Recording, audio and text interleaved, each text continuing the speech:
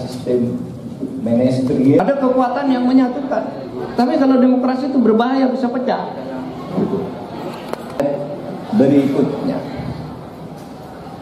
perdebatan para pendiri negara dulu. Sehingga saya menjawab ini pertanyaan judulnya Mas Zainal itu tadi harapannya apa sih? Ini hasil disertasi saya, tapi saya sambung per tahun negara tidak ada oposisi. Ya sebenarnya nggak apa-apa sih, nggak ada oposisi asal semuanya mau apa memposisikan diri secara benar. Tidak tidak harus oposisi kalau baik dukung, kalau enggak ya tolak. Itu itu namanya kerjasama. Kalau oposisi itu kalau sana ini saya bikin lain itu namanya oposisi. Kalau e, tidak oposisi ya seperti dulu lah konsepnya. Demokrasi itu ya baik-baik aja lah. Kalau tidak baik kita lawan, ada yang membela, kalau benar kita dukung sama-sama gitu.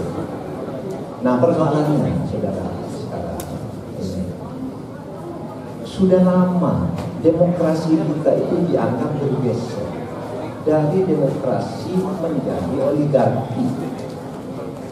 Oligarki itu apa? Yang milih rakyat, tapi penentunya sebenarnya sekelompok orang yang adalah pemilik-pemilik negara dan elit-elit politik yang diperalat oleh pemilik modal. Itu namanya oligarki.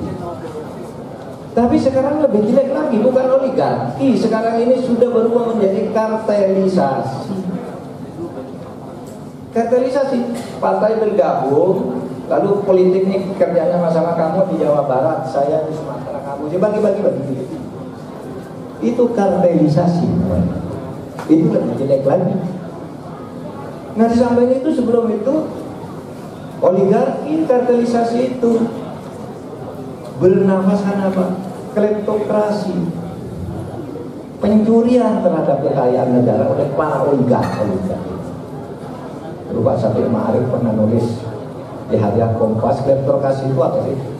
Kleptokrasi itu kalau di Padang namanya negara penkilok. Negara pencuri.